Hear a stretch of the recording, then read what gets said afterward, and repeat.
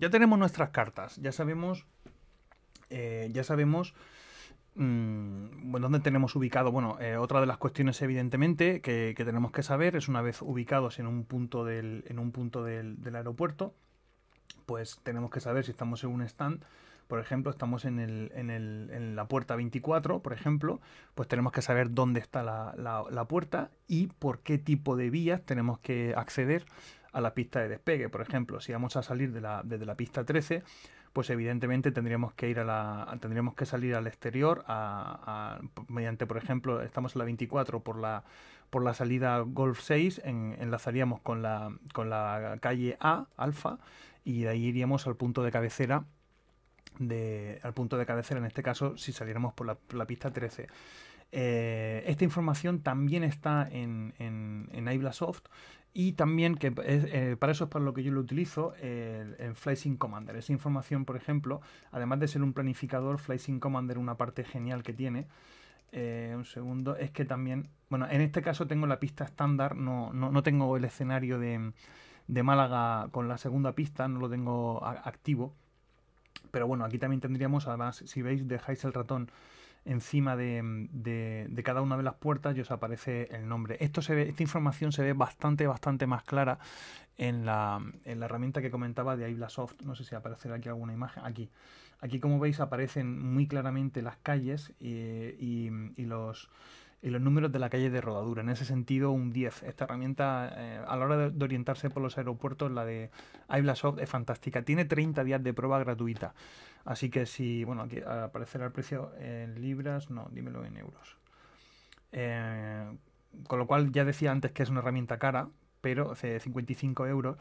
Pero bueno, quizás sí que os interese porque ya te digo que para moverte por el aeropuerto, para mí con diferencia la de iBlasoft es la mejor. La de Flashing Commander no está mal, pero el tener que estar, como digo, un segundo, el tener que estar poniendo aquí el ratoncito quieto para ver el tipo de puerta y luego las calles, estos numeritos naranjas no siempre se ven demasiado claros. Eh, a ver, ¿qué me he perdido? ¿Por dónde, por dónde tenía que seguir? Eh, en cuanto a la planificación... Vale ah, sí, decíamos. Bueno, eh, evidentemente las previsiones tenemos que hacerlas por dos motivos. Uno, si vamos a volar offline, sin controlador, porque somos Juan Palomo, yo me lo guiso, yo me lo como, pero tengo que saber moverme por el aeropuerto. Un aeropuerto sencillo, como por ejemplo el de Murcia-San Javier, pues no te puedes perder, porque solo hay una calle de rodadura, con lo cual, si sabes qué cabecera de pista usar, ya sabes por dónde tienes que ir. Pero en aeropuertos como Madrid-Baraja o, o similares, pues puede ser una auténtica locura de calles así que es imprescindible que nos sepamos situar y ubicar en el aeropuerto. Y en cualquier caso, em, aunque conectemos online, aunque evidentemente es el controlador el que te va a decir por dónde tienes que hacer la rodadura, eh, a ver, yo por lo menos me estreso muchísimo, porque sobre todo cuando vuelas en inglés.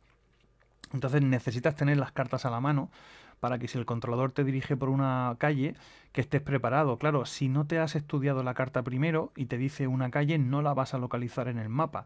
Con lo cual, pues vas a provocar un atranque o va a haber problemas de entendimiento. Si tú ya has previsto eh, por qué calles te, va, te, te, podría llegar a mandar, una vez que él las menciona y las dice, pues salta rápidamente en tu cabeza lo que tú ya habías planeado de antemano. Con lo cual, ya digo, tanto si vas a volar online con, controlador o no, lo tienes que, prever.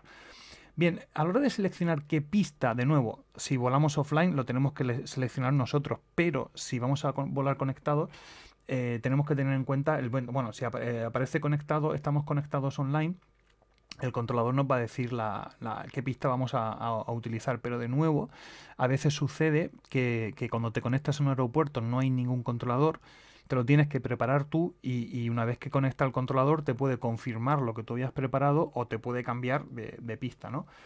El criterio habitual es que un viento menor de 5 de nudos eh, se puede considerar despreciable, es decir, no influye a la hora de elegir la, pista. Ya sabéis todo el mundo que eh, siempre se intenta aterrizar y despegar con el viento en, de cara para que la velocidad de, mm, con respecto a la velocidad del suelo sea inferior y poder hacer aterrizajes y despegues con menor velocidad. Eh, aún así, eh, hay algunos aeropuertos que tienen una pista preferente hasta normalmente hasta 5 nudos con viento en cola.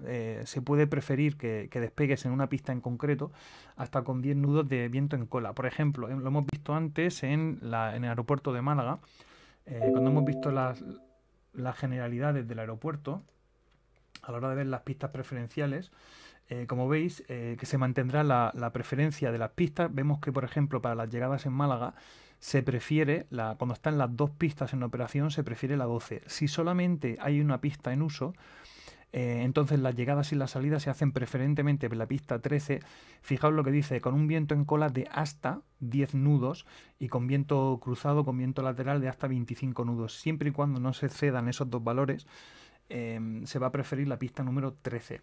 Como digo, esta información solamente la vamos a tener en las cartas, por lo tanto eh, es imprescindible tener acceso, como digo, a, toda la información de las cartas para poder conocer eh, estos detalles.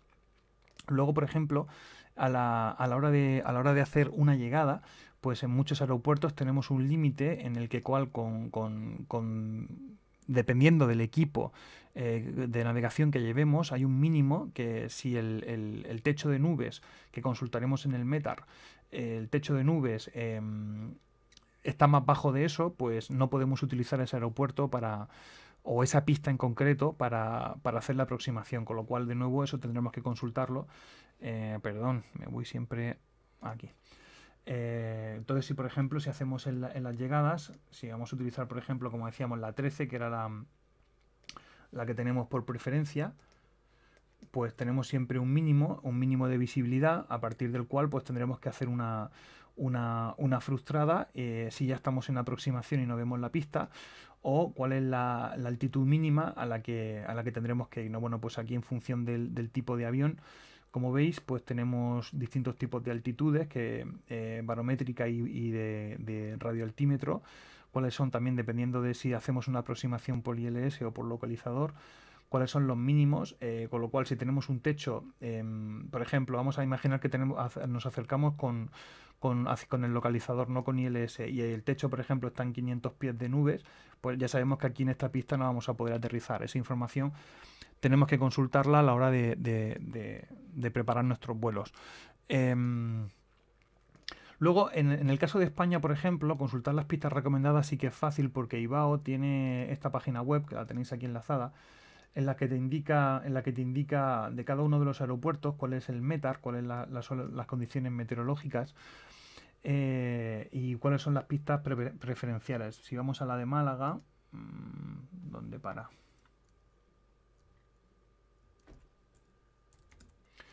si tenemos el de Málaga, eh, como veis, las salidas por la 13 coincide con la información de las cartas y las llegadas en la 12-13.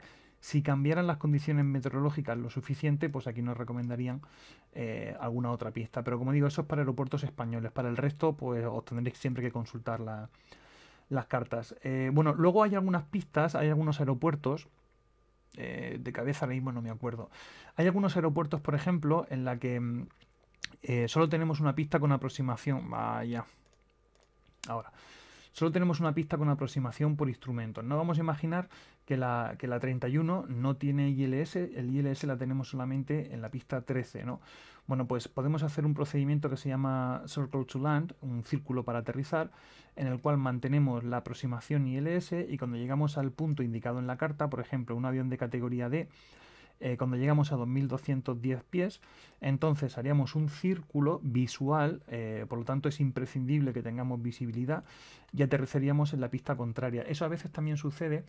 Eh, vamos a imaginar, por ejemplo, que tuviéramos este pico de 6200 pies, lo tuviéramos aquí justo en la cabecera de la pista 13.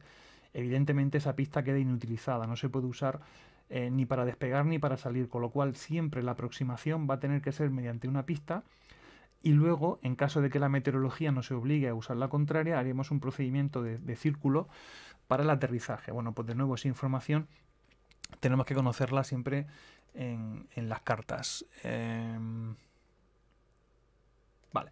Bueno, pues eso es con respecto a la hora de, seleccionar la, qué pista vamos a utilizar para, para la salida y para la llegada.